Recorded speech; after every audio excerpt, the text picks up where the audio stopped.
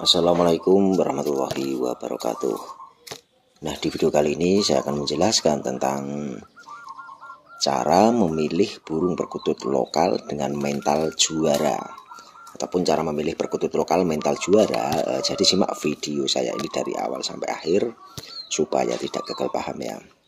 Jadi untuk cara jitu memilih burung perkutut lokal yang memiliki suara gacor dan bermental petarung maupun mental juara kita harus tahu kita harus uh, mempunyai ilmu ataupun mempunyai ilmu titen yang kita bisa meraba-raba. Meskipun demikian memiliki burung perkutut lokal yang memiliki suara keras dan mental yang bagus setidaknya kita harus uh, diimbangi dengan perawatan yang bagus juga. Ada beberapa aspek yang harus diperhatikan sebelum memilih burung perkutut lokal yang berkualitas dan bersuara keras maupun bermental bagus. Jadi eh, beberapa cara maupun tip yang memilih burung perkutut lokal yang harus bagaimana harus kita pilih yang bagaimana kita sendiri yang menentukan. Dan eh, saya akan sebutkan ciri-ciri burung perkutut lokal yang baik dan bermental bagus dan bermental juara. Jadi burung perkutut lokal yang bagus biasanya memiliki warna bulu yang indah, warna bulu yang kuat, warna bulu yang mengkilap dengan lingkar garis hitam yang tegas pada bagian lurik ataupun lingkar garis hitam yang kontras. Jadi eh, di seluruh tubuhnya itu lingkar hitamnya ataupun warna hitamnya itu lebih tegas ya. Dan karakteristik burung yang bagus memiliki kelebihan dari warna bulunya yang tidak kusam ataupun bulunya itu e, tidak kumel atau bulunya itu tidak mengembang dan lain sebagainya. Dan pupur abu-abu ataupun pupur e, di atas paruh melebar sehingga bagian atas mata juga bisa menjadi salah satu ciri-ciri burung perkutut lokal yang bagus. Jadi pupur abu-abu yang entah itu di kepala, entah itu di leher itu e, semakin melebar maupun semakin banyak e, pupur abu-abunya.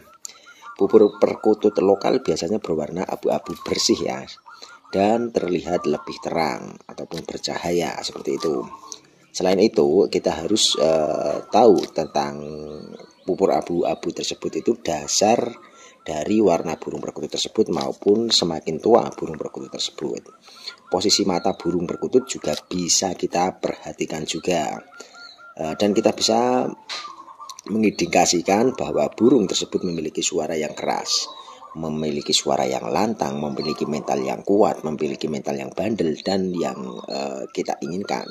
Jadi untuk mempunyai burung perkutut yang bermental bagus, memiliki uh, mental yang tidak takut kepada uh, lalu lalang, tidak takut kepada orang, tidak takut kepada keramaian, itu sangatlah sulit uh, jika kita tidak mem memelihara dari lolohan maupun tidak memelihara dari uh, beli dari orang-orang yang memang sudah pernah prestasi, sudah pernah juara maupun sudah pernah menorehkan piala maupun kejuaraan di antara latber, latpres dan lomba. Dan posisi mata kita harus perhatikan juga. Jadi posisi mata burung perkutut lokal yang baik biasanya sejajar dengan paruh. Sementara sorot mata perkutut lokal tersebut akan terlihat lebih tajam dan lebih jernih, lebih melotot dan terlihat lebih lebar seperti itu ya. Dan tidak sayu. Dan selain itu biasanya bola matanya berbentuk besar dan bulat.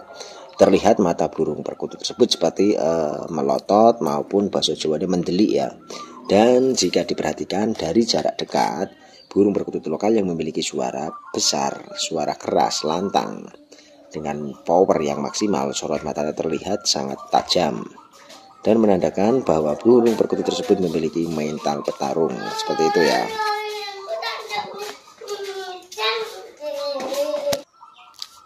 Jadi kita harus mempunyai beberapa kriteria jika diperhatikan dari jarak dekat.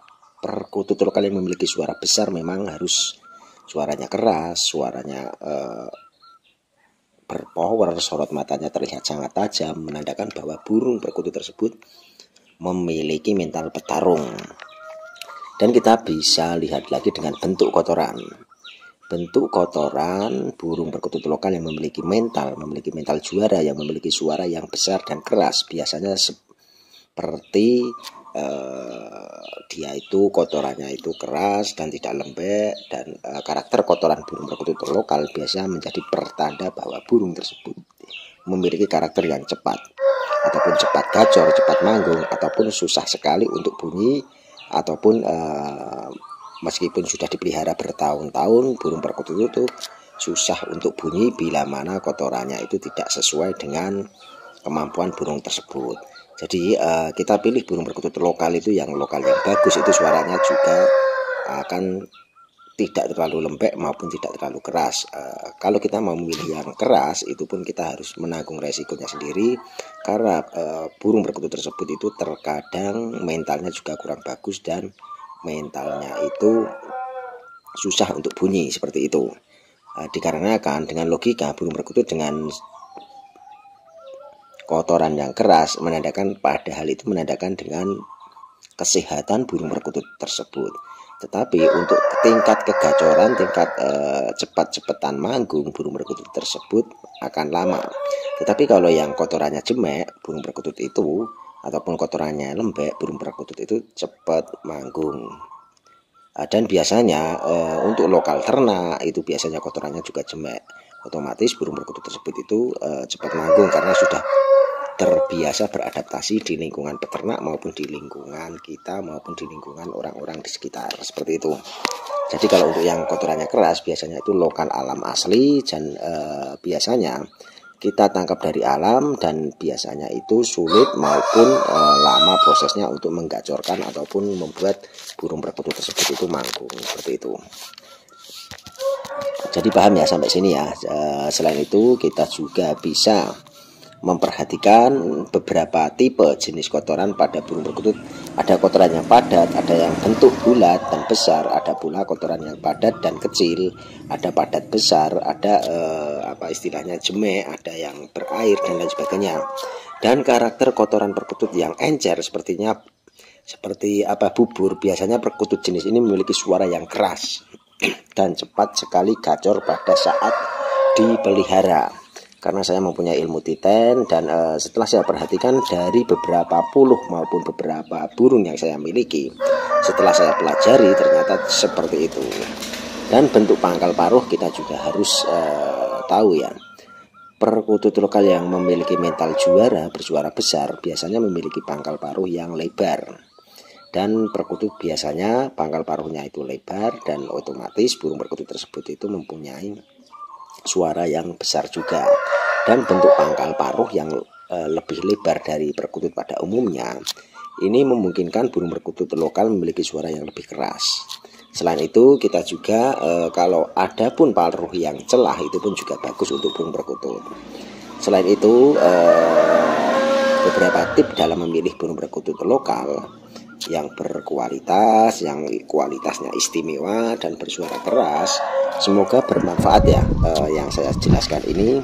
Pokoknya di video kali ini tentang beberapa uh, kriteria kriteria burung perkutut yang sudah saya sebutkan di video kali ini tentang uh, cara memilih burung perkutut lokal mental juara.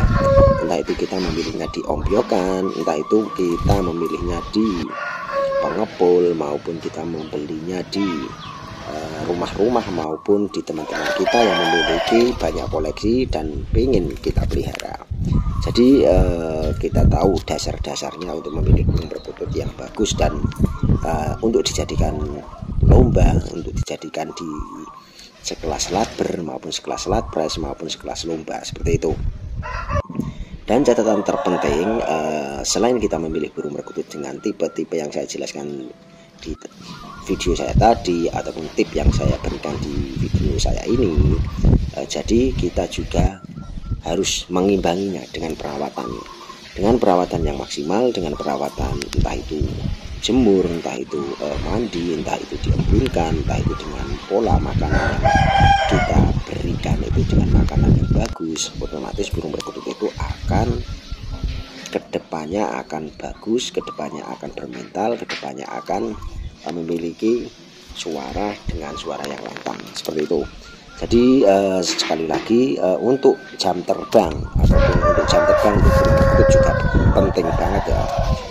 Jam terbang yang saya maksud adalah kita harus membawa jalan-jalan maupun kita sering melatihnya teman maupun di berbagai kandang setiap komunitas maupun di kandang jejer-jejer di rumah maupun di samping rumah maupun depan rumah maupun belakang rumah dan lain sebagainya.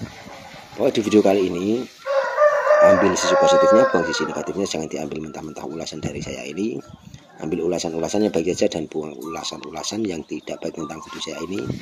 Salam rahayu, salam komania, salam persahabatan, salam silaturahmi, salam bineka tunggal ika, salam hidup rukun selalu, salam satu hobi.